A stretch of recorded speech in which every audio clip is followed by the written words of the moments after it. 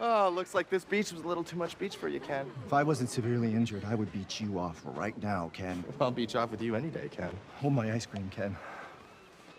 All right, Ken, you're on. Let's beach off. Anyone who wants to beach him off has to beach me off first. I will beach both of you off at the same time. But you don't even know how to beat yourself off. How are you gonna beach both of us off? I It doesn't make sense. Ken? You can beach yourself off. You're gonna beach Come both on, of us off. Nobody's gonna beach anyone off.